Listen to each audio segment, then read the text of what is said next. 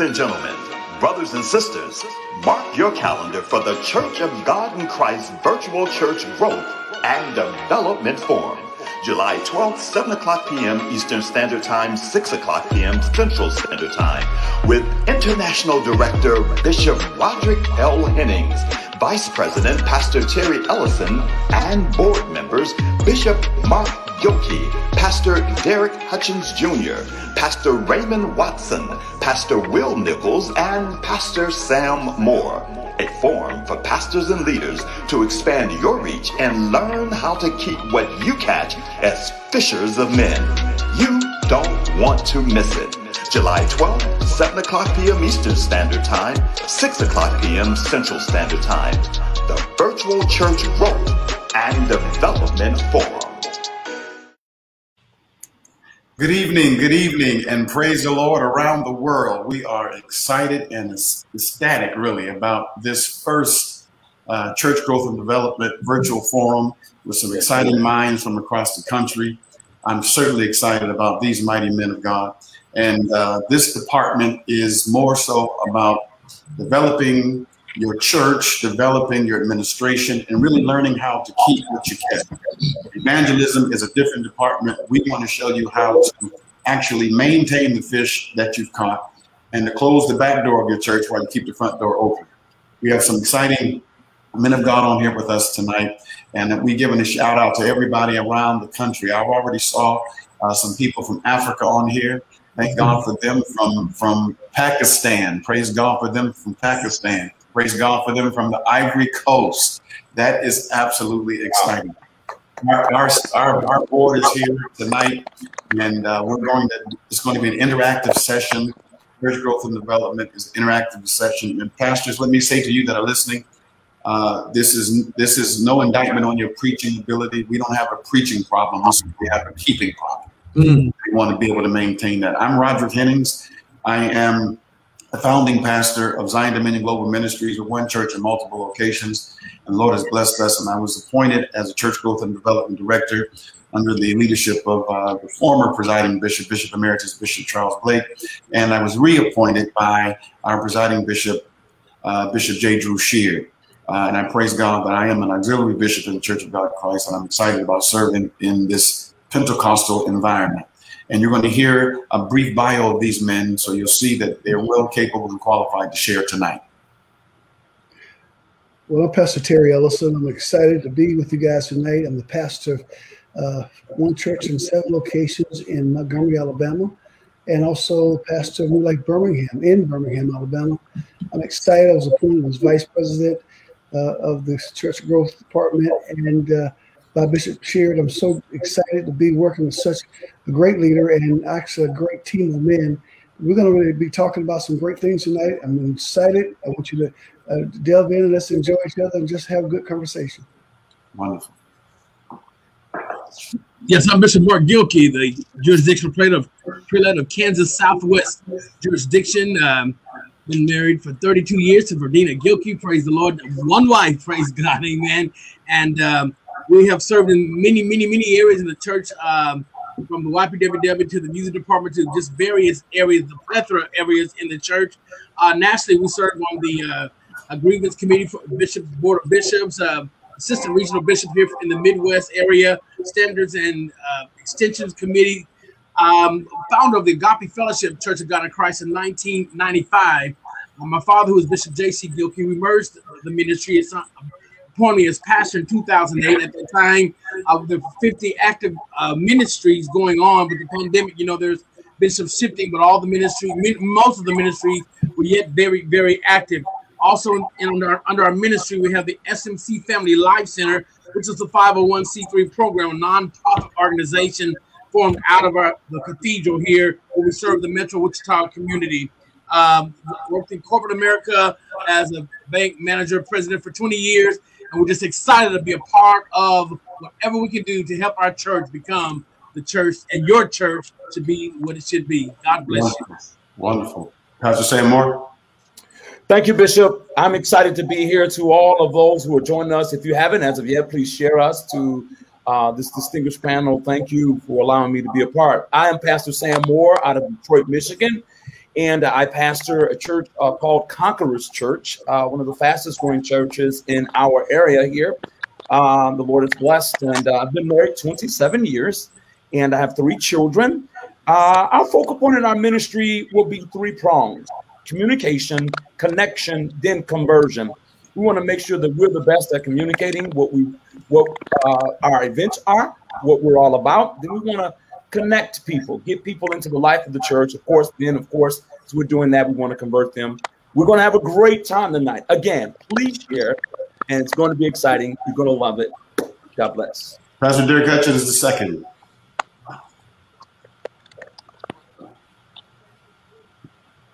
Pastor Derek Hutchins. God bless you, Pastor Derek Hutchins II, third generation Church of God in Christ, pastor of Christ Believers Ministries in Columbia, South Carolina, serving in the youth department for approximately 22 years. And I'm a proud leader and servant of God in the Church of God in Christ in various capacities with pastors and elders council uh, during the time of uh, Father's uh, 10 years chairman, uh, Bishop Derek W. Hutchins II. And it's been a joy to serve in various areas of ministry uh, throughout our jurisdiction of South Carolina. AIM chairman uh, for 14 years, youth president for 22 years, and now serving as one of the leaders um, as a director of operations for the South Carolina jurisdiction, Church of God in Christ, approximately 74 churches in our jurisdiction. It's a joy to serve. Wonderful. Pastor Raymond Watson. Good evening, everyone. I'm Pastor Raymond Watson. I'm the pastor of Steadfast Church of God in Christ in Stuarts Draft, Virginia. Um, it is a kind of small rural church, but I'm totally convinced that God needs good pastors in urban, suburban, rural. He needs good pastors everywhere. Um, I was, uh, by vocation, I served as the assistant to the president and chief operating officer of the Billy Graham Association. Um, they flew me to some different parts of the world, and I got to see a lot and do a lot. And I told God I would bring back what I saw and learned back to the church that I grew up in. Um, I have 15 years of nonprofit management, so I know um, something about how to motivate and inspire um, volunteers, which most of our churches have. And so I've just compiled a number of different training materials. I'm a published author. I'm just excited about what uh, we have to offer to the body of Christ. I think those who are listening, you are going to hear some things that uh, are just going to bless you and help you to become uh, better at what you do. Wonderful. Pastor Will Nichols. God bless you, Bishop, and all the saints of God. I'm Pastor Will Nichols, Superintendent of the Greater Triangle District, pastor one of the greatest churches down here in Raleigh, Durham, North Carolina. My uh, dad is the late, great uh, uh, Bishop William Nichols out of Western Michigan. My mother is the current state supervisor in Western Michigan. And my pastor is one of the best bishops in the world, Bishop Patrick Lane Wooden of NC 3rd Jurisdiction. And they are in the house. Oh, I'm excited on tonight. Well, I'll tell you, we, we, Bishop, you talk about learning how to keep what you catch. Yeah. I've been on that journey. We just celebrated 23 years. My wife, Dr. Grace Nichols, and I started our church in our living room, and we grew. We built a multi-million dollar facility, got up to about 2,000 members, and and then we hit a wall, and the student dropped down. Maybe we have about four or 500 now, Bishop. But one of the things that I'm on is how do you keep what you didn't catch? Ah. How do you keep that? And this is going to be powerful. We are our premise right now. We went to a growth group uh, uh, lecture lab model with our church, uh, and our motto is to grow closer with God and to foster long-term Christ-centered relationships. So we shifted our focus, and it's been a blessing, especially during this pandemic. That's wonderful. Well, you can see we have a qualified uh, uh, staff and a board to work in church growth. Uh, I was just thinking about the years combined with our pastoring, and it's, it's well over it's well over 100 years combined.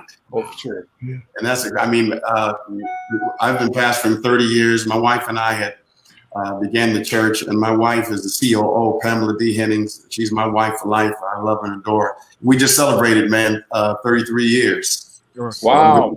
about that. I'm really excited about that.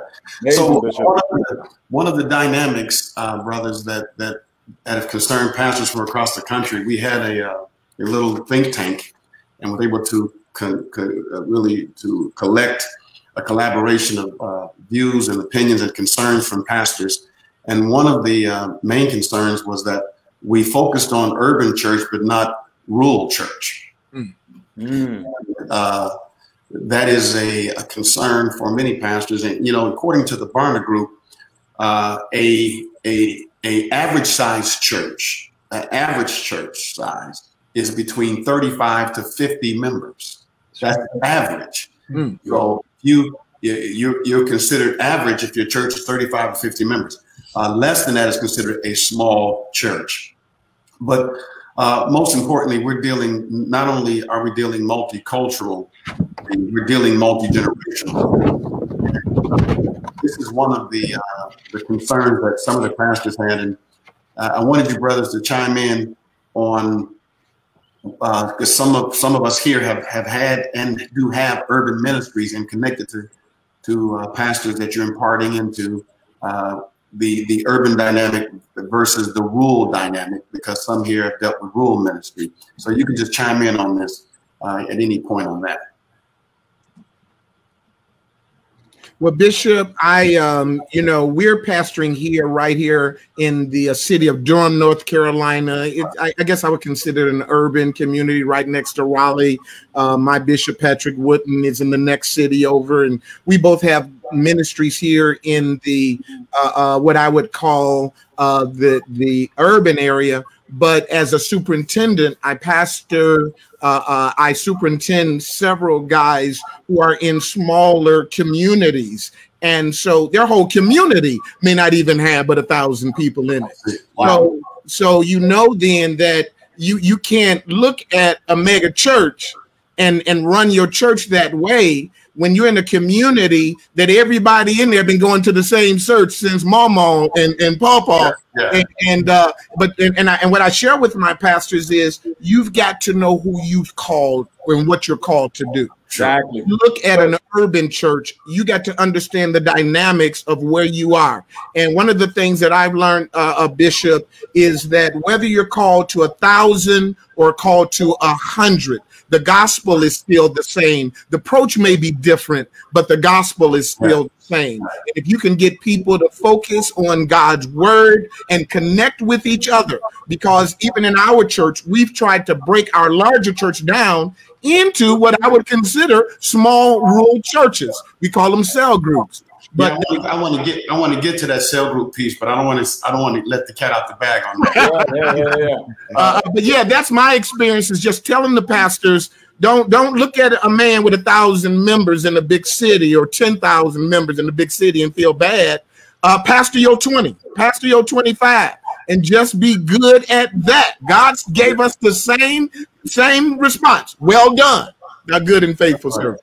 You know, incidentally, if if you have a thousand members or more, you're in one tenth of one percent of all churches. Mm. Even though you see mega churches on television, uh, the truth of the matter is that's one tenth of one percent of all churches. The other thing that you can't sleep on, and this is a good caveat for many that are listening now, is that post pandemic, you realize that your church is not measured by the people who sit in your pews. your virtual church, for many of us, is larger than the actual people that are in person services. So I think that's very, very important. I saw someone uh, wanted to chime in on that. Well, I can well, tell Bishop, you, Pastor Watson. Okay, Pastor yeah. Watson. I can tell you from personal experience because I am a pastor of a rural church. Mm. Um, you open the uh, back door one Sunday, might be some goats across the road. back door the next Sunday might be some sheep across the road, maybe 7,500 yards. You open the door the next day, um, it might be something else out there. But what I've come to understand is that the word of God is the same. You know, Second Timothy 2 and 2 tells us that, and the things that thou hast heard of me among many witnesses, the same commit thou to faithful men who shall be able to teach others also. And so I'm finding out that the principles are we just have to have good um, teaching in place so that that can be kind of exponentially uh, sent out. And you, you, find that when the teaching is good, it has a, a, a multiplicity effect to where it begins to impact um, Mama, Paw I think I heard. Yeah. Uh, but that's what you need because it's going to be most of the, the smaller rural churches are family churches. And so there's a dynamic that goes along with that. And uh, that's why I'm excited about being part of this because I know somebody's out there thinking, well, you know, I know him and him and him. They have large churches. What about small churches? Well, we did not um, overlook that.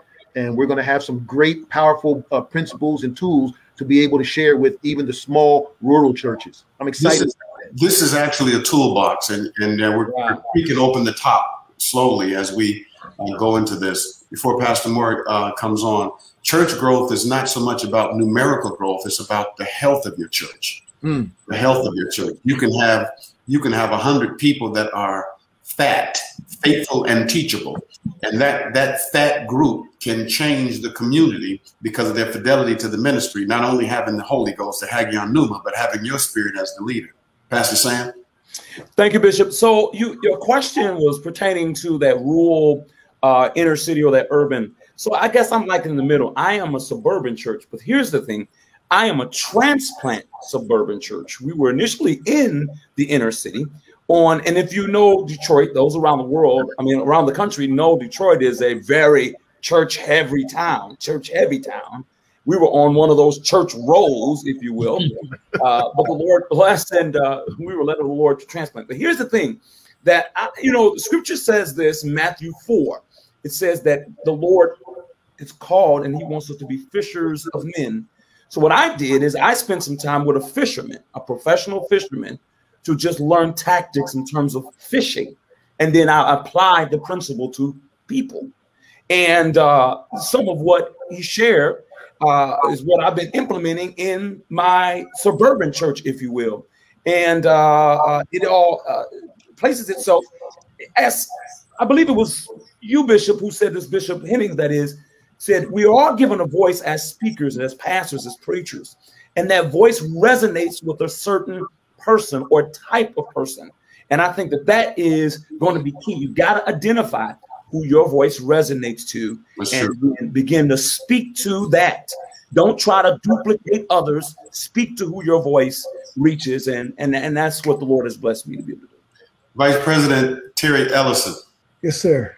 You well, you know, uh, the first church I, I've never taken over a church. I started every one that I've, I've uh, pastored, and the first one was a uh, very modern well, back home in the country, rural area. Mm. Um, very discouraging because I uh, I was raised in a rural area, but I found out that going into a rural area, uh, starting a church, it was very difficult because everybody was well established in the neighborhood and everybody belonged to a certain kind of church, and it was got kind of hard uh, unless you were trying to get somebody from somebody's church to even get a member. And so that was a very discouraging uh, moment for me. And and uh, and it, it, was really um, uh, it really hurt. I, I, got hurt in the process because I was expecting so many things for God to do, and those things just wasn't happening as quick as I thought they should have. And so what I ended up doing is um, uh, uh, uh, learning valuable lessons as I left that church. I, I, I the church still exists, but I left that church and, it, and it's it's thriving right now. But we laid a foundation of prayer and fasting. Uh, me, a young minister, not really being trained to be a pastor, just having the desire to do so. Uh, but I found out what I was in the process of being trained for what was coming next. Yeah. Uh, and uh, it, it, was just a, a, a different, a very, very disappointing time. When I look back at it now, it taught me uh, uh, something about weathering storms. You never know the power of your church until you weather the storm. Ah, that's good. Good. That's good. That's good, sir. That's good. We appreciate that. Bishop Gilkey? Well, first and foremost, um, I think being spiritual. That's the number one thing. uh, prayer has been the key to success uh, to our ministry. We're not necessarily in a, uh, a, a, rural area, but I want to big piggyback on what a bit uh, Superintendent Nichols said about those live groups and support groups. We've, I found that to be so helpful to our ministry uh, here, especially during the pandemic. Uh, with the live group, what you can do, we, we specialize in certain areas of ministries, and by doing so, what we've done also is open it up, opening it up not just to the local ministry, but individuals from across the country begin to join in with our uh, some of our, our life groups from South Carolina. We're in Kansas. We have people from South Carolina, different places who've joined our life groups. And even in your rural area or large city, you can open up that life group. And what that will do, that will help to introduce your ministry to individuals in that rural area or across the country or however you will, will want to do that. But those life groups have been so uh, critical and important to the life of our ministry because we specialize in certain areas, whether it's single mothers or whether it's uh, divorce groups or what have you. So it's a wonderful tool for uh, the growth in in-house and also reaching out. So I think that's a powerful tool to use in your community to, to invite others and introduce them to be a part of your ministry. Those life groups are extremely powerful. Oh, Bishop, I want to say this too. Uh, what I had to do when I was in a rural church, uh, what I failed to do at the beginning of it is learn the language. Uh, mm, there's a language that the rural area speak, and mm. everyone is different, and you got to learn the language. You know, uh, uh, people don't realize that John the Baptist was a rural preacher. He was uh. in rural areas. Uh, he and he was very successful. When he came to the city, he lost his head mm. because he cha- he didn't know the. what are you trying to say, Superintendent? What are you trying to say? right. So you really got to know the language of, of who you're addressing and understand the culture. Uh, yes, because uh, even different parts of town, and me having one church in seven locations, none of the communities are the same. They're all different. So we had to go in and learn the culture. Yeah, that's true. That's true.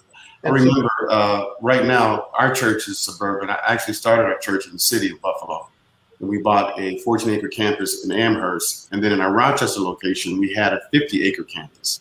And that was a rural place. I was in a city called Rush, and it was urban. And I wanted to find out how I can reach them. As a matter of fact, we had neighbors who I, I bordered, uh, I, I uh, uh, did commerce with them, exchanging of goods and services. I said, look, if you plow this campus, you can hunt the turkey and the deer on on on on on, on the acreage. Hmm.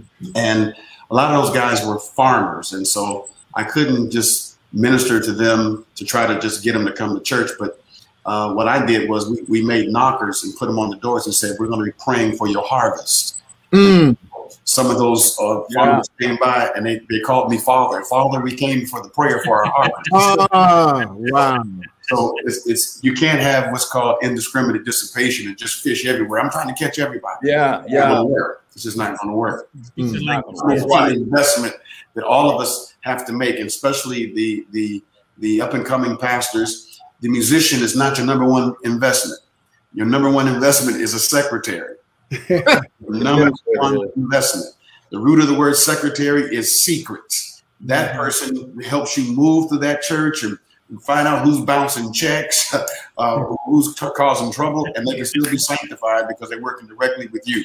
So Bishop, can I can I chime in right there because uh, unlike you and uh, several of the our panel here uh, of you guys who have uh, uh, major ministries that uh, have um, budgets that can handle those add-ons in terms of um, salaries for secretaries and administrators and things of this nature. I guess my specialty is my team is fully volunteer. And what I've come to understand, as well as you, that secretary, that administrator is is super, super vital. So then I guess the question comes, how do you onboard a secretary when you don't have the budget? Because I think that a lot of pastors are, are having that struggle. They would like to do that, yeah. but it is kind of difficult. And what I have found is I use the team concept. What I've done is I have spread out equaled out the responsibility among a team. That way, no one is overworked, and I can still get the assignments done yeah. that I need to get done, and don't have that enormous overhead of a salary on me. That- That's good. I want to pose a question uh, to the panel, uh, but I, I agree with you, Pastor Moore. Um, generally, when you when you when you don't have it in your budget, at the church that I pastor, I hired people who would do it for nothing. yeah. Yeah. We go. have about 22 employees, but I hired people who would do it for nothing. People that have the burden of the ministry versus people that have the glory of the ministry.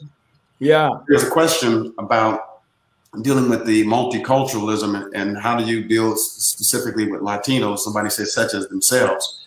Uh, for me, uh, generally, you don't draw what you want; you draw what you are. Because you are, that's right. You, if you want to see Latinos, you want to see Russians, you want to see Bangladesh people, uh, they got to be a part of your usher board and your praise team. People have to be able to see themselves. That's right. That's worked in our church. Brothers will chime right in on that. And that's called the law of attraction. You attract who you are. Yeah. law of influence and magnetism. Um, so that that we have to pray, and that's got to help us that we can be more open to uh, what He would have for us to attract. So if you want those type of individuals, you have to, as someone said, you got to prepare to receive them. If they come, you can't really minister to them because you don't know the, their culture or their language as such. So the law of attraction, we attract who we are. And normally, if you're many of you are very talented, so you attract the people who are gifted and talented. I, I attract uh, several people who are just gifted and talent, talented, so I have to keep them on the altar praying because gifted and talented people have to stay busy. But the law of attraction is what you're speaking of, and, and that's something that we have to work on within ourselves. If we want to attract a different audience, we must prepare for the audience that we desire to attract. Yeah, people definitely have to see themselves in your church. They have to. That's right. the, the, the one one thing that I've struggled with is multicultural churches. And y'all excuse me if I ain't supposed to say this, I'm gonna go ahead and say it. The most of the multicultural churches that I see where our people go, we are not the head. The opinions of Pastor Will Nichols are not the reflection of. no, I'm just teasing. I'm just kidding. I, my door is open for anybody and everybody. I say, come on. As a matter of fact, Bishop, that was my motto: a church for all people. Yeah. And uh, I heard somebody say you can't fish everywhere, and I was trying. I remember I spent a whole lot of money on a, a white radio station trying to get folks to come to my uh, daycare, and uh, it was like it was a good commercial.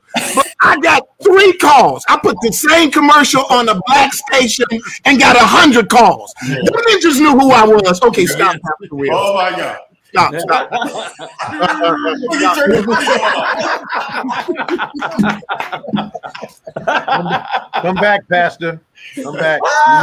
We need, I love it. I love it. I love it. But that, that is a point. Uh, again, you really don't have you really don't have uh, uh, reconciliation when you just have uh, black people attending white church with white leadership, and, they, and, and because real recon- reconciliation is when white people submit to black leadership. Yeah. Bishop didn't turn me off. I thought Bishop tried, tried, tried to try to disconnect me. No, no, I, I was just being open, Bishop. Who just, But took here's the what. Who just took the blows after you were gone? but Bishop, here's what I found. I've just accepted the pond that God has put me in. And I'm doing everything I'm learned how to do to do that. And the one thing that I did, Bishop, was I, I disabused, well, actually, God disabused me of the idea, uh, and you said this earlier, of trying to get more and more and more and more people. He said, Will, I didn't call you to get people to sign up to go to church. I called you to feed my sheep. Mm.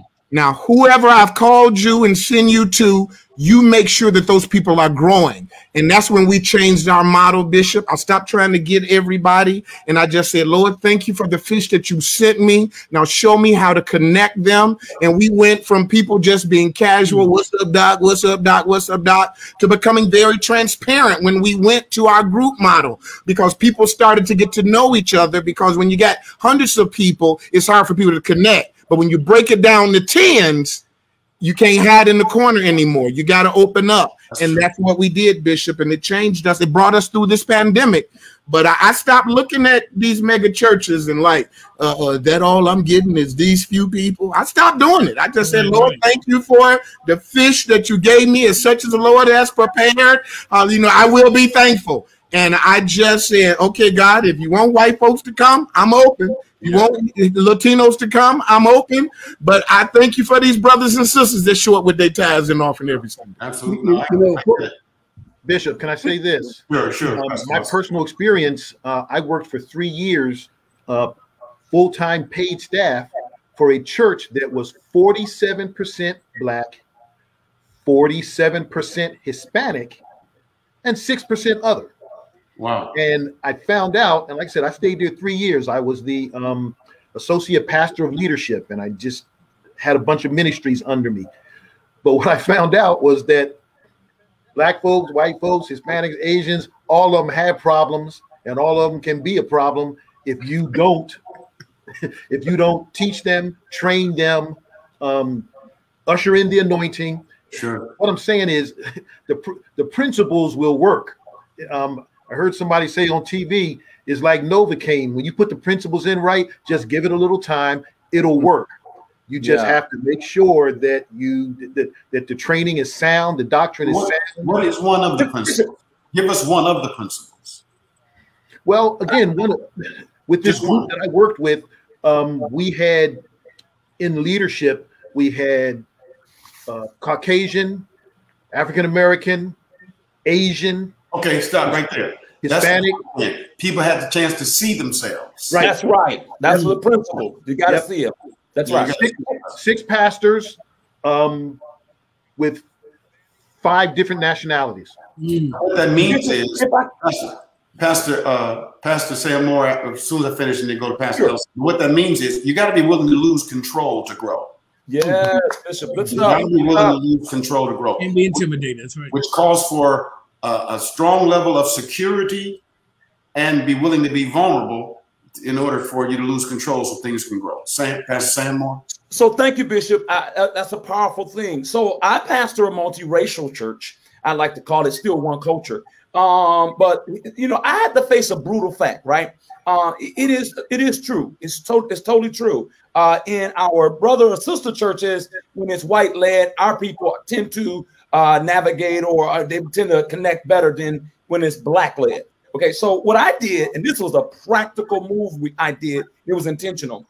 I had secret shoppers, white specifically, secret shoppers attend my church.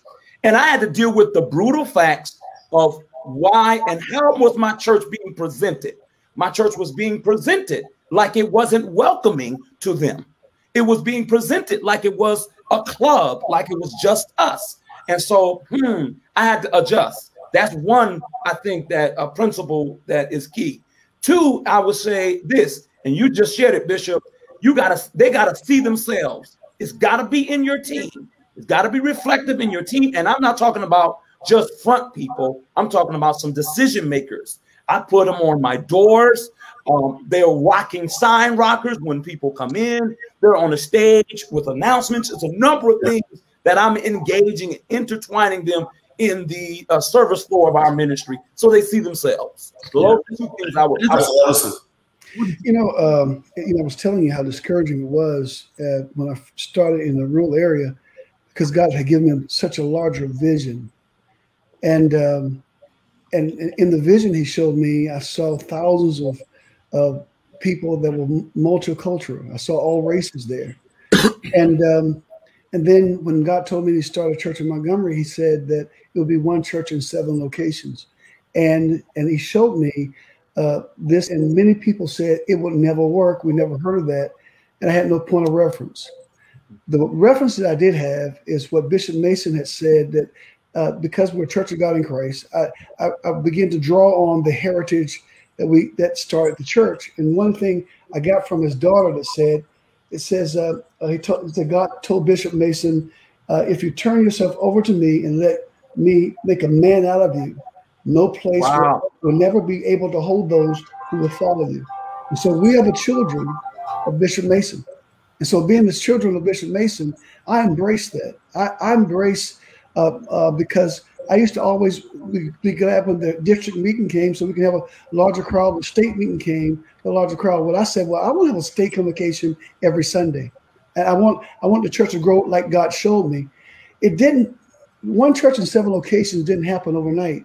It was a big vision. It took time for it to happen, and now now that it has happened, well, the thing about it is, uh, I'm still waiting on the the, the others, the, the other ethnicities to come. Yeah.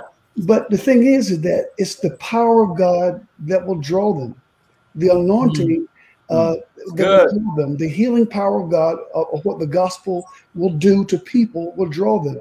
So it's not yeah. my personality, it's not even my ingenuity. It is actually the anointing of God that will draw the people, and then having structure in place. Yeah, teams that have been because no man can do it on his own. Right. I have a team of great men and women uh, that helped me. I can't do this myself. We're team players. We we they, in this, during this pandemic, they supported. They gave me counsel. God gave me the vision, but they gave me counsel how to work the vision. And so I'm, I'm, I'm more of a manager, and I got several leaders under me that that know a lot of things about a lot of things from us, from my secretary to my co-pastors to, to everyone that's associated with the ministry. Yeah. I have great leadership. Plus, I have a bishop Bishop O.L. Meadows, I'll give him a little throw out there, is that he knew that what God was giving me was different from others. And he said, Son, I trust you and I know you will not take it to the wrong level. So I'm going to trust you with what God has given you. And now, with that freedom, I was able to do what God has called me to do. That's good. One, one, uh, one of the questions that, that I happened to come across was that some people were talking about, I don't know if it's sarcasm or but at any rate, when you talk about growing church, they must have came in late because we're not talking numerically. We're talking about church health. If the church is healthy, strength is attractive. Mm-hmm. The church is yeah. healthy. But some of the caveats that you have to be concerned about in church growth is everywhere you go that demands finance starts on time. I'll say mm-hmm. it. Everywhere you go that demands finance starts on time. There's a That's strong necessity for people uh, say, well, you know, my church is not doing this, that, and the other. But if your church starts at 11 o'clock, you can't open the doors at 11.15. Come on here. you can't. You can't. And then further exasperate the idea because some people are coming to your church who are used to timeliness. So they get there at 11 and, and then service will start till 11.45. And now they get ready to leave because they've been there with three children. Yeah you can't penalize people for being on time. Oftentimes, you refer to somebody being late, they're dead, the late so and so. But I digress. Listen, if I can chime in on that, because I I, uh, I try to uh, admonish or help pastors establish scripts, service scripts, right? And you, of course, I get a lot of kickback. Oh, that's going to block out the Holy Ghost. The Holy Ghost is not going to have his way. What do you mean? No, no, no, no, no. I, I, I totally disagree because in my opinion, the pastor shouldn't be, if you will, the enforcer of the script. He may set the script, but you got to have one of your deacons or brothers or someone you're going to make your uh, like operations person. That person will control and harness your your script. And what I mean by a script is it's an outline. Sure. What happens when we start on time and it keeps you in a timely fashion? I've seen that tremendously bless my church. I've been utilizing that scripted format. Uh, our service is about 90 minutes, and we're very effective. And you come on, you can see on our lives, it's very spiritual, it's high energy the whole night. But the script makes it work. Of course, you got all the other gadgets that go in there, but yeah.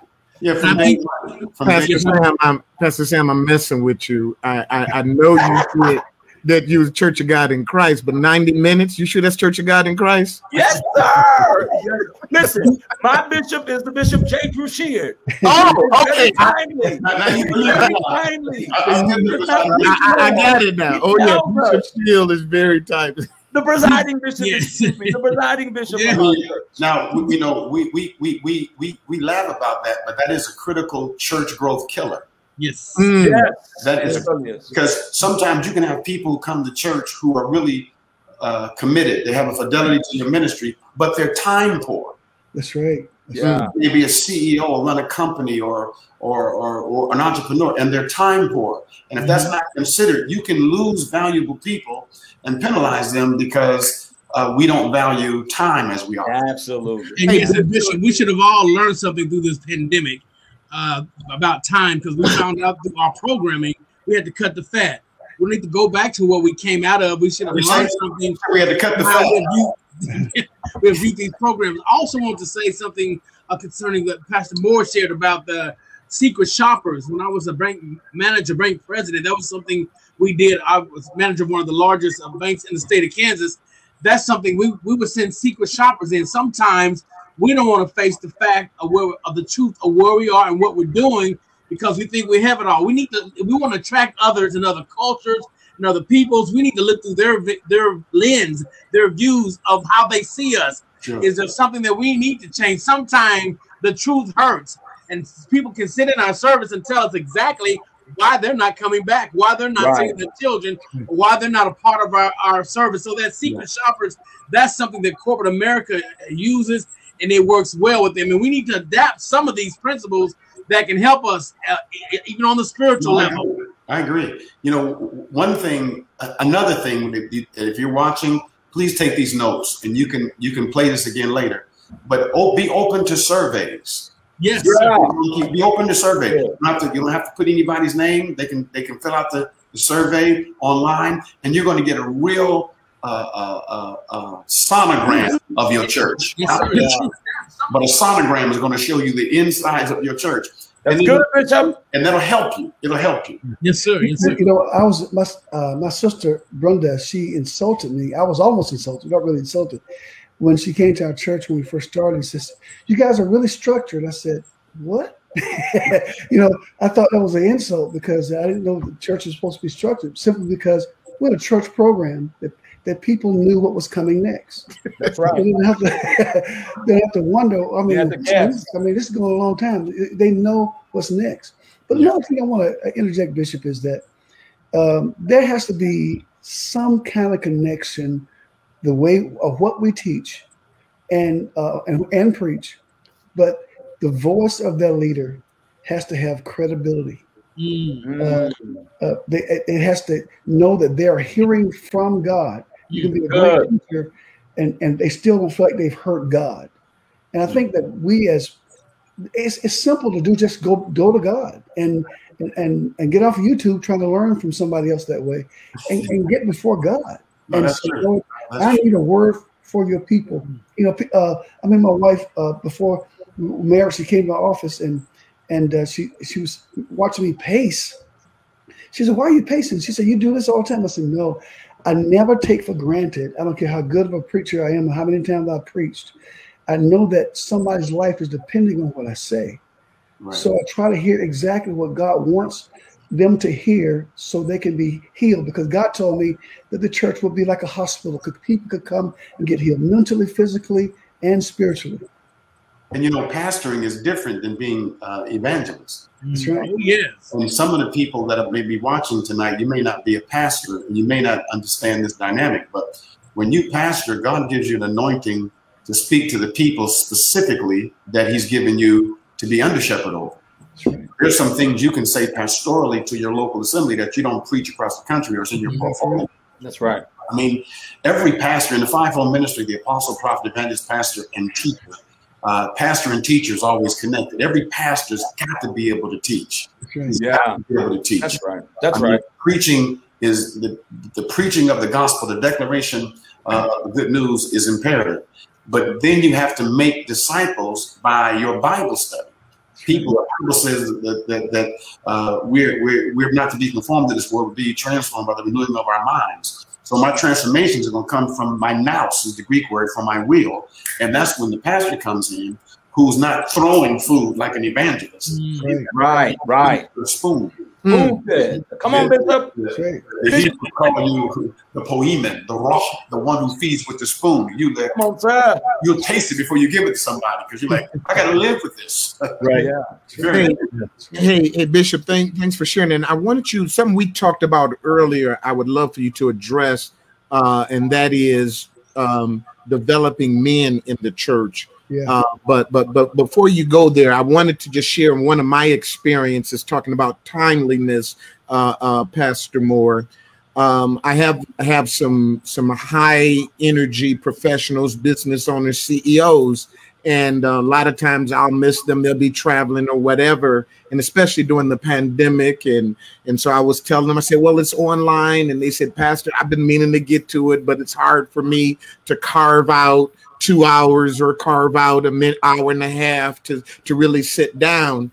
And I was getting ready to go in on them about you know God gave you 168 hours in the week. You can't give them two hours. And I was getting ready to go in, and then they said I normally go and get like this daily inspiration, mm. and the Holy Ghost hit me and said, "Well, why come you can't give them that?"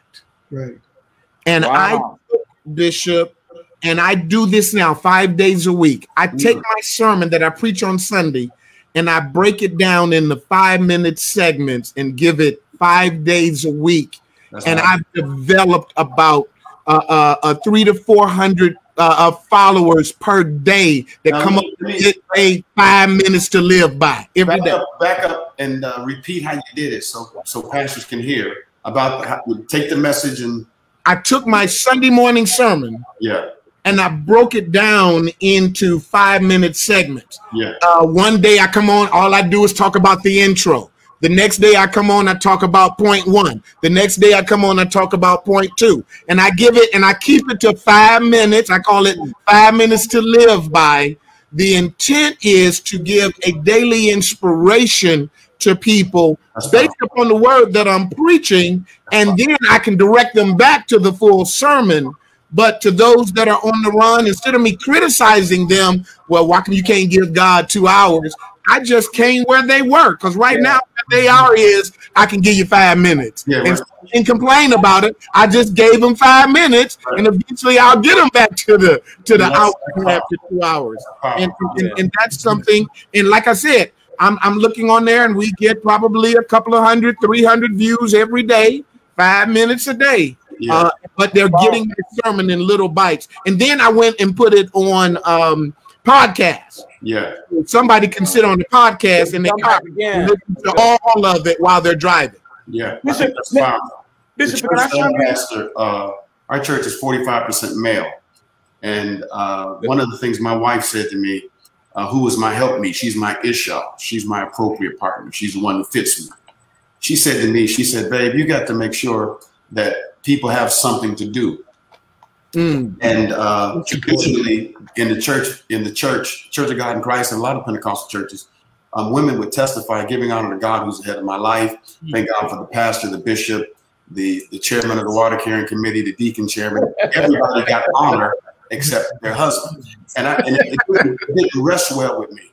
And I went back to the scripture. This is true story. I went back to the scripture, and, and the Lord said, I didn't set it up that way. He said, The head of every woman is the man. Man, it's the Bible. The head of every man is Christ, the head of Christ is God. He said, So when your wife testifies, Roger, he said she should say, giving honor to God and to my husband, who's the head of my life. And I got challenges. I mean, people were challenging me about it all over. But the truth of the matter is, he doesn't have to be a saved head to be the head. He's That's the head true. by default, according to Genesis chapter 3. Now, what happened was men were getting honor and getting respected and every man wants to be celebrated, no matter how mm. he is, no matter how how how disconnected he may appear. But he he by nature, he by nature wants to be celebrated, and there's nothing wrong with that. That's good, Bishop. You're right. And the brothers would come, and I would say, don't ever go home and tell your husband, uh, your boyfriend, how good I preach, because you're putting me in competition with you. tell him what Jesus did. Uh, I right. love that. Yeah, all right, but the word of God is in there. Mm. It, it, shifts that spirit of competition. It shifts it all of them.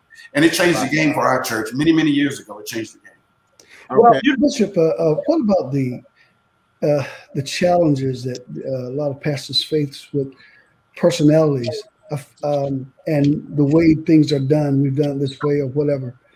Um, the thing about it, what what we do at every location we have we have the vision in front of them and they know where, what's next mm-hmm. um, the, the vision though can't be just a good idea some good ideas work and some don't yeah uh, and uh, but if it's a god generated vision and you begin to tell people what god says is going to happen and those things happen it brings credibility but it also silences the criticism of those who are set in one mode of thinking. What are some of the, the challenges that you guys have had with uh, uh, thinking that's so boxed in that you can't even maneuver or get something to move for you? A lot of small churches yeah. have that problem. People, we're, we're creatures of habit. We like sit, sit in the same seat. One lady in our church, when we first got one of our locations, we got some pews and and and, and of the members bought a pew. And one old lady, uh, I didn't know she was like this. She and she was sitting in the same seat every Sunday. The problem is that one time somebody's going to sit where she was sitting, and she told him, "I bought this pew. Pew. I bought this pew." I said, "Mother, no, your pew was back there in the second one from the back." so what I'm saying, I'm really asking the question yeah. is is uh, the mold set of of uh, boxed in thinking. Uh, how what how do you guys? I challenge it with vision, uh, so we can have a clear direction. We can all focus on something. But what do you guys do? Bishop, can I chime in? Absolutely. Thank you, sir. So I, I look at your question as being a fixed mindset versus a growth mindset. And so I totally agree with you. I think a lot of times as pastors, what we end up doing, uh, Pastor uh, Superintendent Nichols, I'm right with you, sir. We're throwing tactics. We're trying to be duplicates of what others are doing when it comes to events. We talk to guys and, hey, man, what worked at your church? I'm going to try to do it at my church. But I look at the term vision and I, I then apply this term strategy. Hmm. What is what is your church's strategy, Pastor? And, and, in fact, you know, I think one of the takeaways you have from this session we're having today is if you don't have a strategy, grab, make sure you establish that. Get a strategy, communicate it to your team. The Bible says they run with it when they get it. They run with it when, they, but you got to stay consistent. So yeah. I recently, uh, uh, if you will, redevelop my strategy. By the way, your, your strategy needs to be readjusted about every six months. So I, re- I uh, readjusted my strategy because I found out when I surveyed my church that my church didn't really have an effective evangelism, uh, let's say, culture. When did you find out? When did you find out? I found out that we did not have. When? When? Oh, when? I found that out about uh, about. No. What, what did you do that made that happen? Great question. What I did then is you did a survey. You did a survey. Oh yeah, yeah, absolutely. Well, I did a survey. I did a survey. Absolutely, yeah. no doubt about it. By the way, guys, I heard, I saw a question on the uh, Facebook. They wanted to know where you get a survey done. There's several ways you can do that. You can use technology. You can use a, a, a Survey app. Monkey. You can use yeah, Survey, Survey Monkey. Absolutely. Constant Contact has it. Uh, I um, uh, you can use a texting service, a little small little picture. Yeah. I have a texting service that can help you. Uh, that too. Hey, well, wait a minute, wait a minute, Pastor, wait a minute. But this That's is called strategy. Toolbox. This is a part of the toolbox. Okay, so, yes, sir. You know, this is a part of the church growth and development toolbox. You'll be able to reach out to us through our website, through our Facebook page, and talk about tools you need. And this is a this is a critical component. Sure, sure, sure. I do that. In fact, at my church, we have a QR code, and that triggers the survey for the person, so they don't ever have to touch. That said, I did that survey, as you said, Past uh, Bishop, and what it did, it just showed me that the temperature of evangelism in my church was awful. It was lousy. So I had to, you know, strategize to get the temperature. Mm. People telling others about Jesus.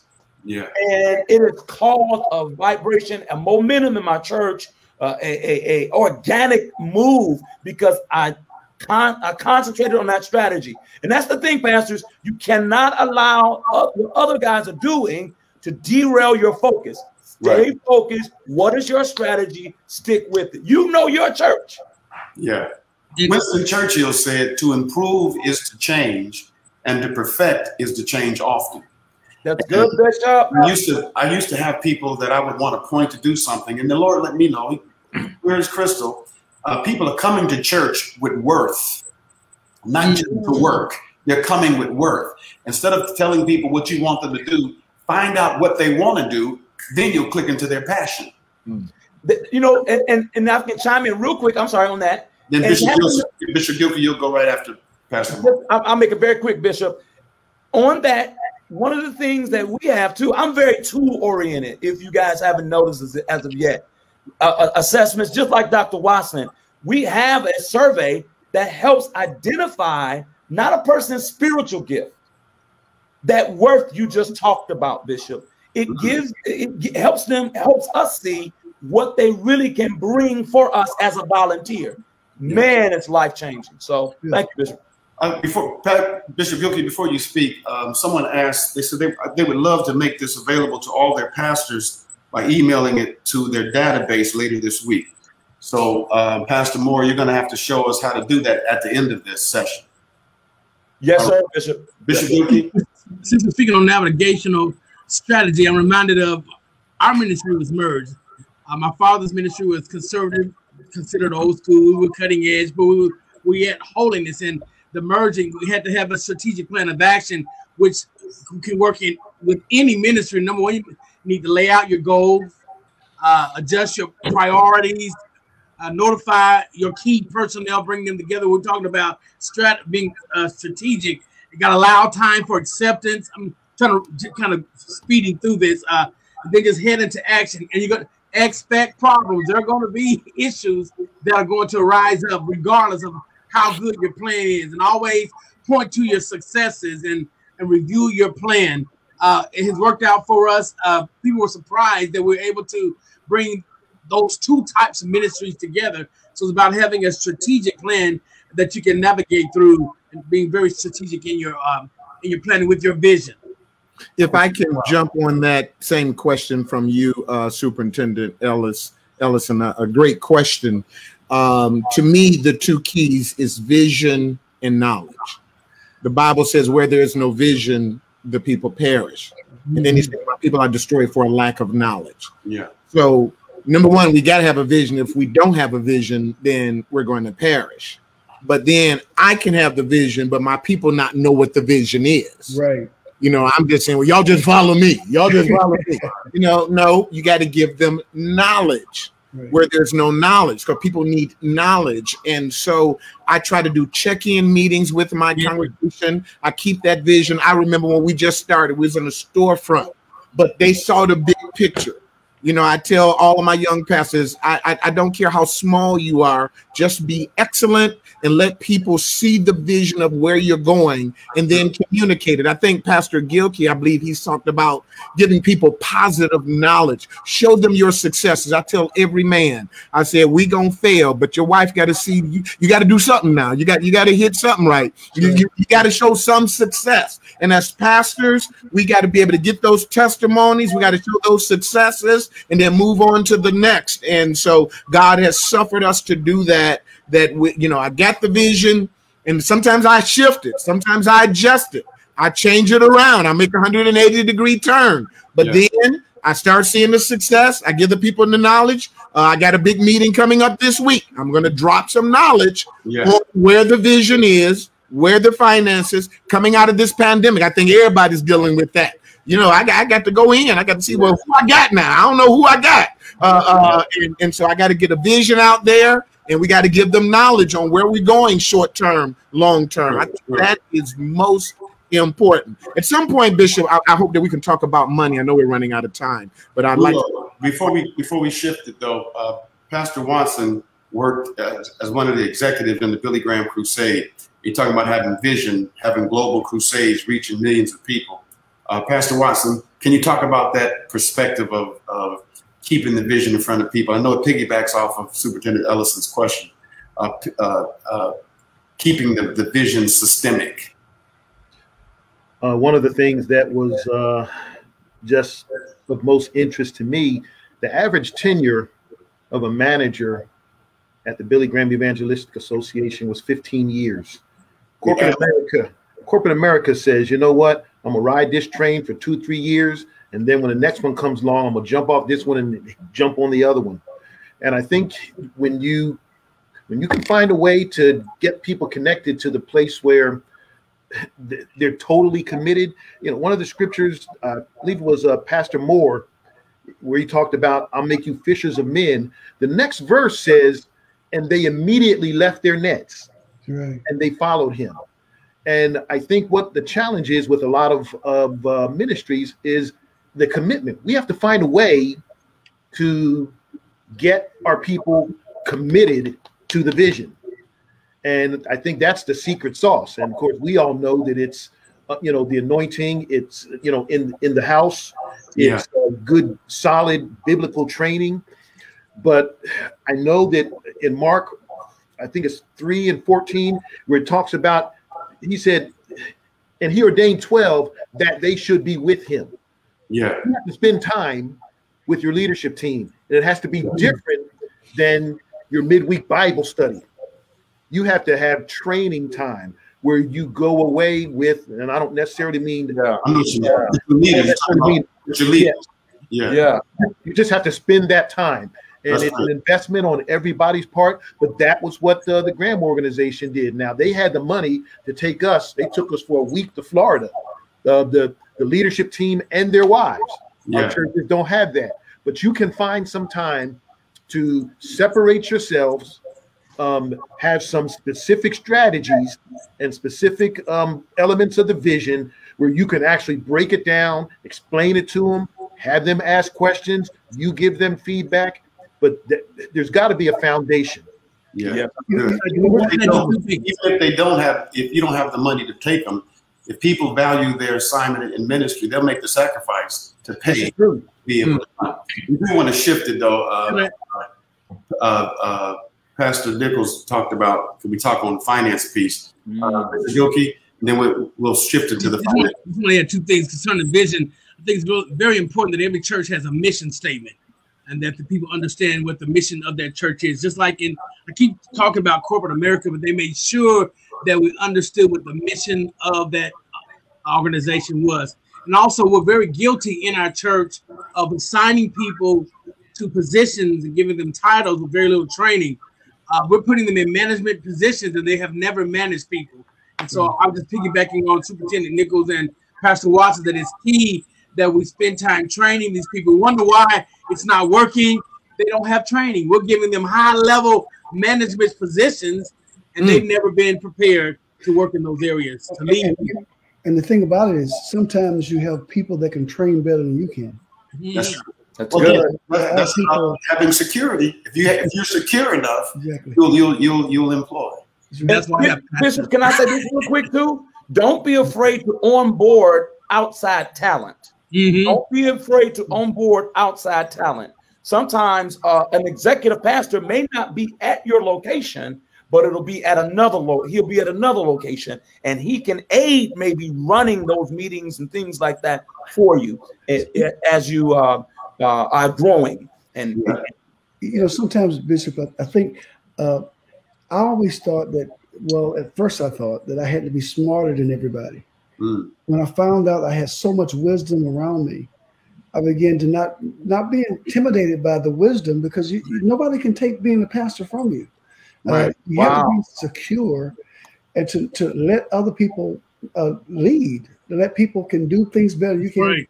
do it, take their advice. I was telling my co-pastors even yesterday, a couple of them, I told them, I said, look, guys, I said, God showed me all this, but it was your wisdom and, and the wisdom of the counsel that others gave me that got us here. You know, I have a vision, but there had to be a strategy to get the vision. God didn't give it all to me, but when I heard it, I knew that was it yeah. You know, superintendent, um, I um, you know, I do a lot of training on relationships, and one of the things I learned: the people that's at the top are not the smartest people in the world. Right. They are the people that know how to get along with the smartest there people. That's right. See what happened? Kennedy was uh, down one of the greatest presidents, but who he it was who he had around him. Right. That's right. Around yourself with makes you great. That's right. Traditionally speaking, the church had become or has been the only place where you can serve and don't have to be trained. Mm-hmm. People let you practice yes, publicly. you said publicly. You know, what if, you have to go to your if your your your your primary physician or your uh, mm. uh, they have a gynecologist and he said, "Well, stop by Walmart so I can pick up a couple scalpels because I, you know, I'm a, this is gonna be my first time." He's insane. So we have to really value the idea of of, in, of, of, of impartation yes, uh, in service training. Uh, let's shift to uh, finance, um, and particularly uh, Superintendent Nichols uh, wanted to get into this. And what were the questions and or the concerns and focuses that you wanted to touch on? So, Bishop, for me now, we have a, a, a annual budget of about two million uh, for our church and and um, community development corporation, and I'm able to do a lot of things. But some of the churches that I am the superintendent of don't. And one of the things that I know, the Bible says, money answereth all things. And I, I think I heard um, Pastor Sam say everybody's a volunteer, but there's certain things that you know you got to be careful because you get what you pay for. And um you get what you don't.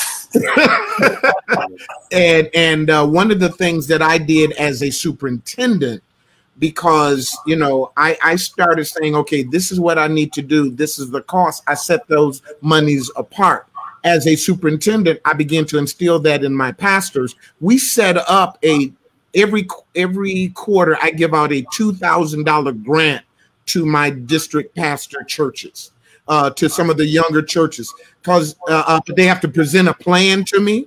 Uh, uh, they have to tell me what they're going to do with the funds. But I want them to understand that marketing requires money, advertising requires money, getting that vision out there. The Bible says, How can they preach except they be sent? Sometimes I can't send you across the country without no money. I, I can't do these things. And so I need them to value and understand that money matters. You got to manage money. And I didn't manage it very well for a while. But I praise God, I figured that out. I was blowing through money, but you need money. You got to learn how to get money. If you don't get it, you got to work on getting it. Yeah, you because the money answereth all things. You can have the greatest message in the world, but if ain't nobody hearing it because you can't get it out, it don't really matter. you know, every every church should consider. This is what we practice, and uh, every church should consider having an, an internal audit and an independent auditing firm. Absolutely. Uh, in our church, we have an internal audit and we have an independent auditing, auditing firm. Now we employ people, so people get they get health benefits, vacation, and we have investment retirement packages that are available. But everything is contingent upon the budget of the ministry. But I think if uh, if pastors um, understood the significance of an audit. It's very important. It's not about trying to get your money to pay to the IRS. It's about letting you see uh, a SWOT analysis, your strengths, your weaknesses, your opportunities, and your threats, and what you can and cannot do. Because sometimes your vision can be in greater in value than your finance. Sure. And so some things you have to do in phases. But if if men here's a here's a here's a good practice that we share, and I and I've shared this with pastors all over the country. Learn when you do your tithe and offering, separate them. Don't do them together. When you hmm. put tithes and offerings together, you're not discerning the one from the other. They become tithe or offering. That's good. That's good. And the Bible says tithe and offering. But if you don't discern the difference, neither will people.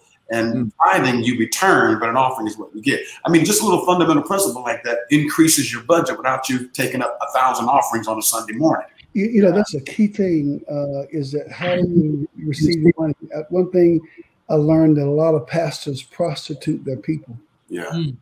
uh, they let evangelists come in and just and and receive offerings and you know that guy hadn't heard from god uh, and some, but but you know sometimes they really are now sometimes it's really of god and and and the heart but if you keep doing that too many times uh, it, it it damages the way people perceive in giving. They think that, that, that prosperity is a one shot deal, and Yeah. so if I give this Yeah. and I don't tithe an offering, Yeah, that I, you know, I don't have to do all that. So I, I, one thing I just learned: don't don't prostitute God's people. Absolutely. No, you're absolutely right. Trust God's way. Hey Bishop, somebody said they, they heard my comment about the two thousand dollars. They joined in my district. My email, my email is Pastor-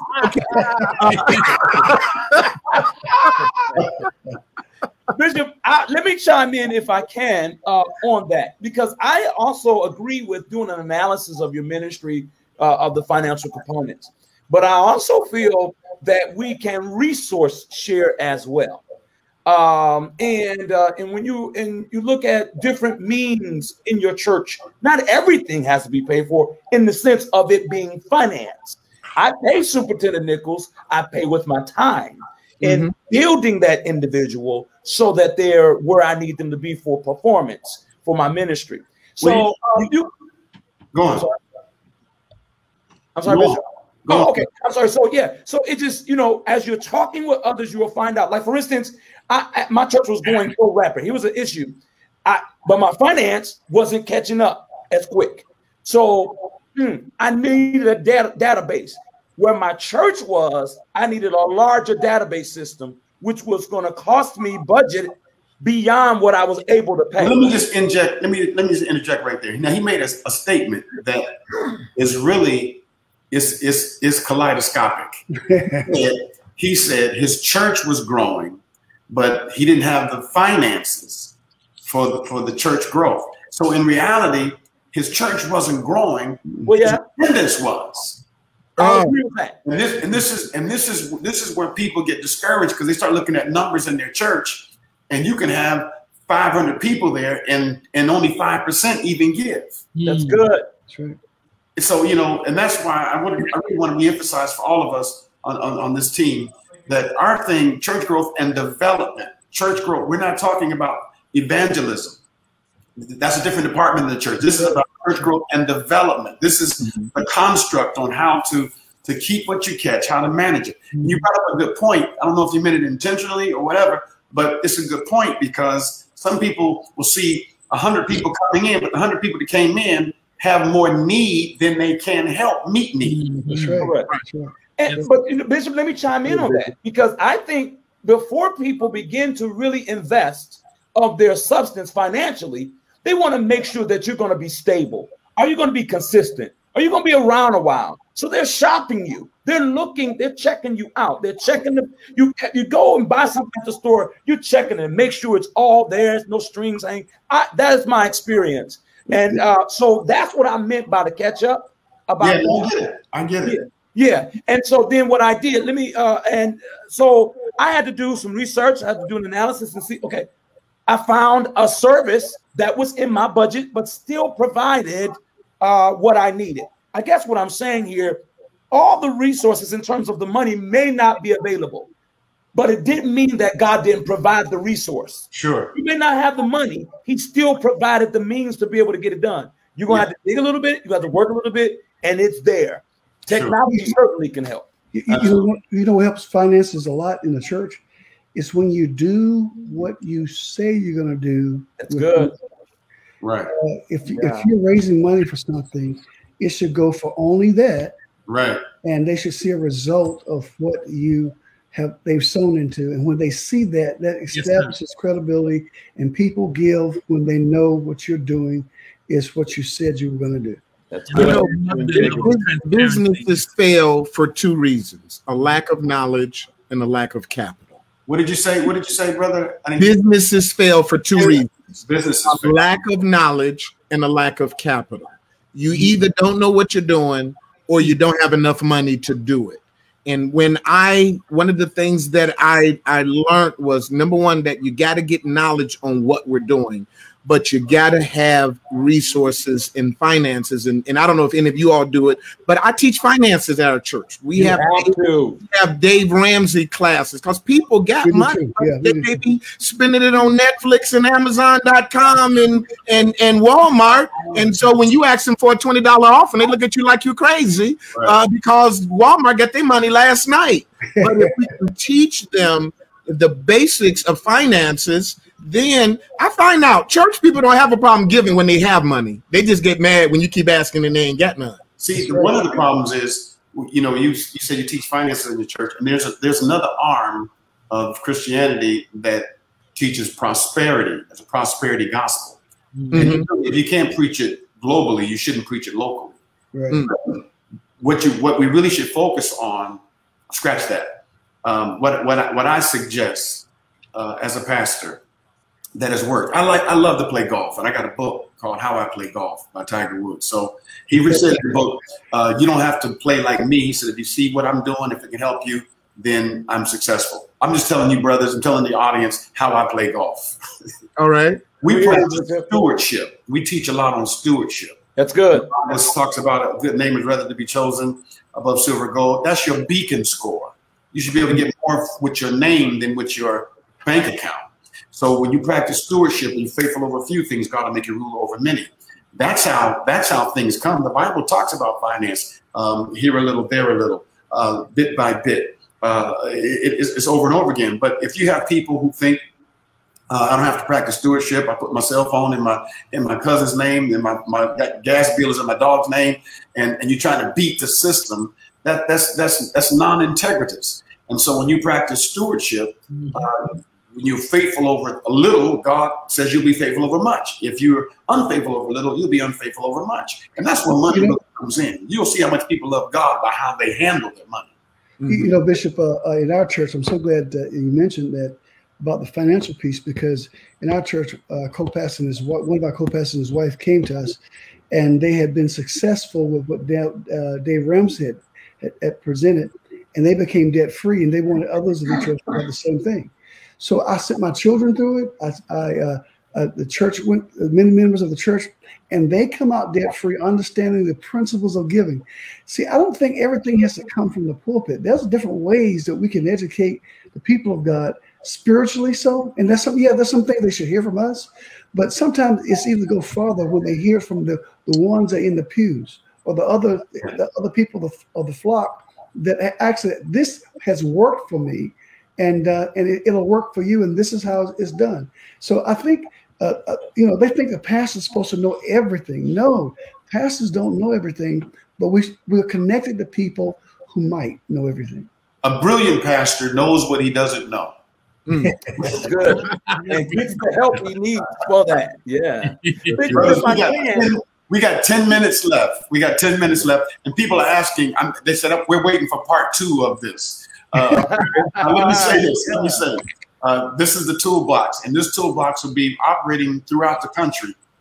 And in our national church and in some of our national conventions, uh, this, this church growth and development team is a part of that. Pastor Derek Hutchins II uh, lost contact. He was he was traveling, and that's why he's he what he lost contact with us. But he is a part of our team.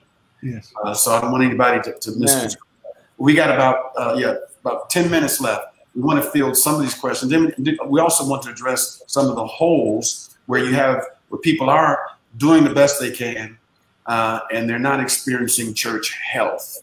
They're not mm-hmm. experiencing church health. May I submit to you something on the floor that we preach healing but we don't preach health in the sense of diet, mm, exercise. Yeah. And so we can't even we can't even enjoy the perpetuity what God has for us because yeah. we a life based on temporary satisfaction. Let's that. Yeah, I'm extreme. Uh, I get up 3:20 every morning. I'm at the gym probably about uh, 3:40.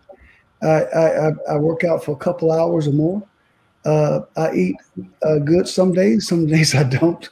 but, the thing is, is that um, uh, I heard somebody say this years ago when they were talking to T, uh, Bishop T.D. Jakes. They said we have to be in shape for what we're assigned to do. Mm, good. Um, uh, good. And so, th- because what we are assigned to do is so strenuous, and and really when you walk or run or lift weights or whatever you do, there's certain chemicals that's released in your body that relaxes you. And so when I exercise every day, I'm not exercising just to be healthy, but I'm also it, it helps my mind. It helps me think. But that uh, makes you healthy. Yeah, exactly, exactly, exactly. There was a neurosurgeon who said he analyzed 10 pastors and he gave them CAT scans. He said all 10 pastors had post traumatic stress syndrome, wow. as though they had been in a war. No. And he interviewed them and said, Have you been in the military? Military. They said no. Have you been a police officer? No. But the one string of, of, of, of continuity that they all had, they were pastors. Mm. And that showed Wow. They, they, they was they was like Moses, Lord, these people you gave me. you know, Bishop, um, uh, that's been a big thing for me. And and uh, I, I I tell people to think about life and and God is God the Father, Son, Holy Ghost. We are body, soul, and spirit. Our pastors, to me, I look at them as the ones who are primarily for our spiritual man. But then you got your physical man and you got your emotional man. Um, you know, and and I tell people, I said, you got to work on all three of those. Sure, sure. Uh, what the Bible said, beloved, I wish above all that thou mayest prosper, be in health, even as thy soul prospereth. And so we, you know, uh, it, it, it's a shame that people are on their way to heaven, but they're no earthly good because they don't take care of themselves. They don't eat right. We look at the disproportionate number of people who died from COVID 19 in our community because of comorbidity, because we didn't have good health. And uh, I do something in my church called willpower, where we exercise, we lose weight. Um, um, Was that, was, that a, was that a pun? Was that a pun on words? Willpower. it, it was. Somebody came up with it. It was the exercise group, and I asked the church, "Give me a name for it." And somebody said, "Willpower." I said, "I love it." I love it. And um, but my point is, is I keep the people conscious. I got different groups that Yeah. challenge each other with exercise, eating habits, and all of those types of things. And then I tell people, go see the doctor. And, Absolutely. and, and, and Yeah, this definitely. again, this may be taboo, but Bishop, I tell some of the people, go talk to a therapist now. Yeah, Uh, I, I give you the word of God on the Yeah. spiritual side, but there's some things going on emotionally that you might want to check out. You know, when you've been abused all of this, I know we can pray and lay hands, but No, there's some things that's going on in your soul Trauma. Yeah. that that people that that are better at dealing with that than me. yeah. It's, And, it's and so let's not ask the pastor to be a psychologist. I agree. it's I, I, I got a confession to make, brothers. You know, my, my wife has, has she's been vegan for many many years. She's a Zumba instructor. Uh, I mean, exercise. And she and she changed my diet. But I said I'm gonna eat what I want to eat. I'm a, I'm, I'm an omnivore, so I'm not doing that. So one day we, we went bike riding, and she left me about three blocks behind. Oh, And puffing, I'm like, this is the devil. Ain't no way in the world she should be beating me on this bike. because you know I'm, I'm doing my push-ups and sit-ups and stuff. But then when my diet changed, um, it, it revolutionized my life. I, I, kid you not, it revolutionized. She would always say, she, she said, "Babe, if you eat something dead, you got to eat something alive. There's got to be something live, like greens in it." And it changed my life. And she she she's bad. She's she, she's doing her thing. And uh, 55, uh, no slowing down. She's still, you know. And we've talked about health often in our in our local church. That's Wow. good. My, my wife Bishop, embarrasses Bishop. me. The statistics have not changed for years. 1,700 pastors still leave their church every month. Oh, Wow. Statistics have not changed. 3,500 people across the country leave their leave church a day. A mm. day. They just, I'm gone. Wow. And that's just statistics that have been studied. And we're talking about this, but this is happening. Um, if it's happening um, in Barna's group, it's happening in the Church of God in Christ as well. Pastor Watson, isn't it isn't it seventeen hundred pastors leaving a month and only fifteen hundred starting? The, the, So it's it's less imbalance. Pastors starting. It's going backwards. Yes, sir. Less pastors are starting the pastor than than than are quitting. Than are quitting. That is correct. That is correct. Wow. We're not replacing. Let me tell you why. It- It's because um, it, it's it's both spiritual and natural. Uh, Yes, sir. Uh, because uh, And mental there's and a devil that we have to deal with as well. And, and uh, What was it? What was it? I said, there's a devil we have to deal Oh, with yeah. as well. And he works against us. And Paul warned us of those things, especially when you're making progress, when you're uh, going ahead.